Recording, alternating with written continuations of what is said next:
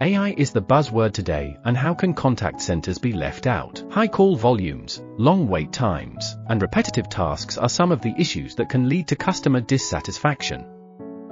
But now there's a solution, conversational AI-based software from Teckinfo. Call centers can increase efficiency, save cost in several key ways. Conversational chatbots can handle routine inquiries 24 by 7. AI-enabled intelligent routing analyses customer queries and transfer them to the most suitable agent.